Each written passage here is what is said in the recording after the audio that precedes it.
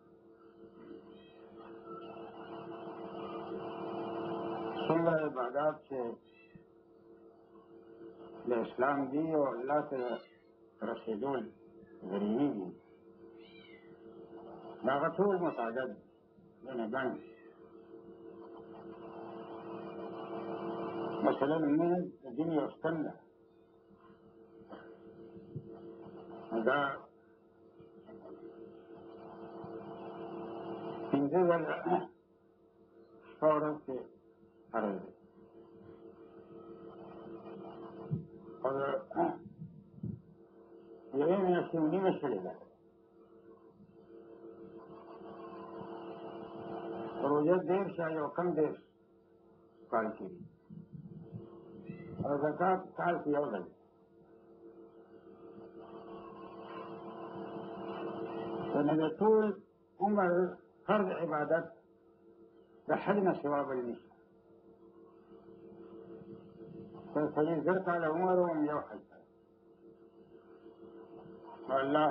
دې ته کتلي وي چې یو شي کې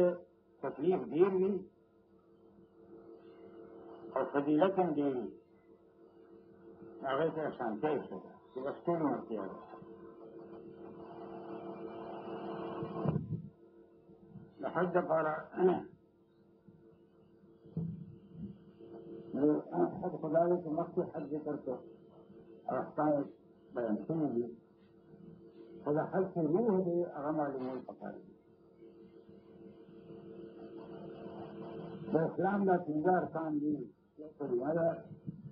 یو لمونځ دی یو روژه ده یو حج دی یو زکات دې پنځو سره د اسلام ارکان دي یعنې که اسلام وي سړي کې نو دا پنځه ستنې په کار دي چې د ایمان چت په دې قایم او هغه چې د ټولو نه بهتر خو کلمه ده چې هغه د توحید او د رسول الله د رسالت او د ختم نبوت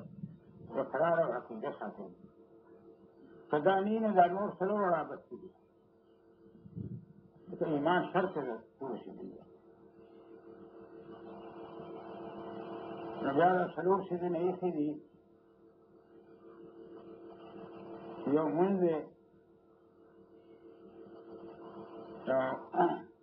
هغه فرضیت معلوم دی تاسو ته خو د خدای ګڼ صفتونه دي یو کم سل صفات په حدیث کې بیان شوي دي دا ټول چې راجمع کړو نو بیا د دوه صفتونه جوړېږي جمال او جلال جمال دا معنا چې څه خوبصورتی دي کمالات دي صفات دي او لویې دي دا ټول اصلي سرچشمه الله رب العالمین نور خوبصورت دی دا خوبصورتي چا ورکړې ده خدای انسان خوبصورت دی خوبصورتي چا ورکړې ده خدای ګلونه خوبصورت ده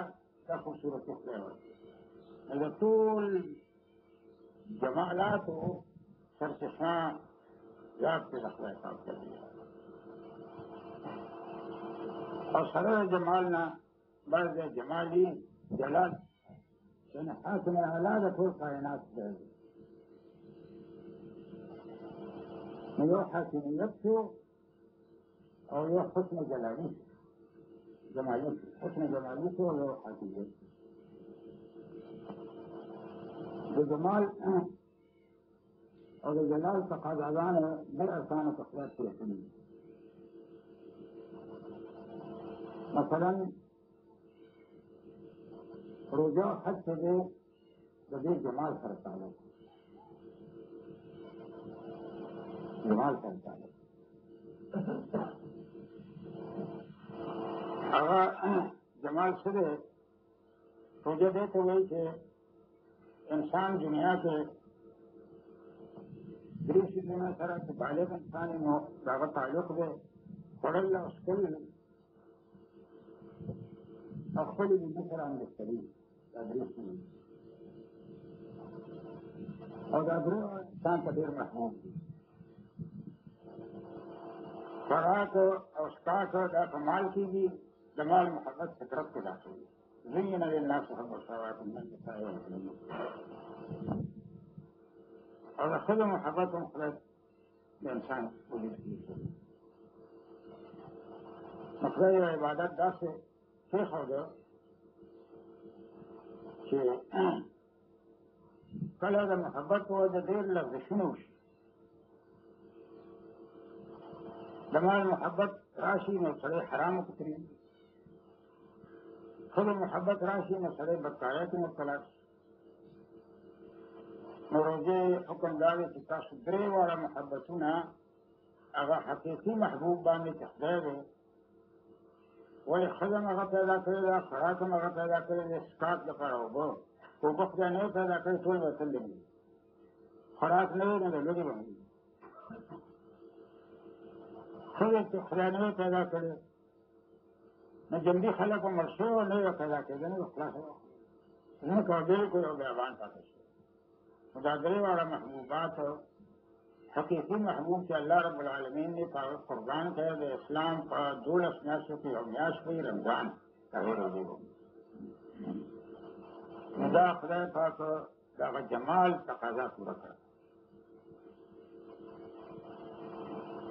او د هغې څه چې کوم حرکات دي نو دا واقعي دا ده چې یو محبوب چې څومره تعظیمات کېږي قولي و فعلي په مانځه کې جمع اول لاس په نامه ولاړ دم تازه بیا رکوع دم تازه بیا د سجدې دم تازه بیا په ادب سره قاعده کې ناست او دم تازه بل چې کوم الفاظ ویل شي هغه هم د تازه دي سبحانك اللهم وبحمدك الحمد لله ولد والین پورې تخلیص پوښتنه دي حرکت ته نو